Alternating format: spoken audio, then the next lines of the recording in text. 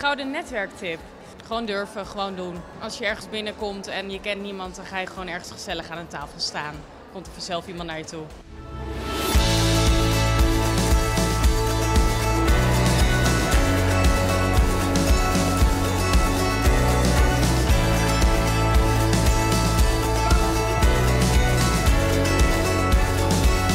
Ik ben er zelf heel slecht in. Dus ik dwing mezelf om nu te netwerken en hier alleen naartoe te gaan. Want anders ga ik alleen met degene waar ik mee gekomen ben. Dus ja, stap uit je comfortzone eh, zou ik zeggen.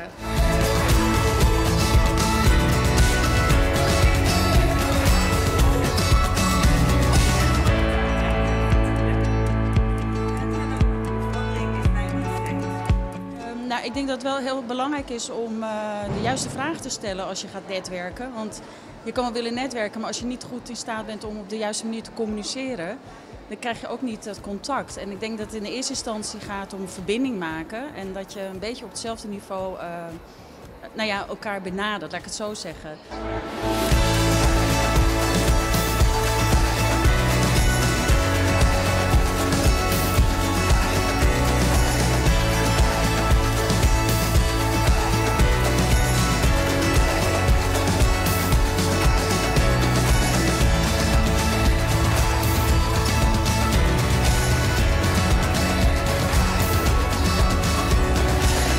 Dit is voor het eerst dat, eh, dat wij hier zijn. Eh, ik vind het heel erg leuk. Het is een goede opzet. Ja, inspirerend.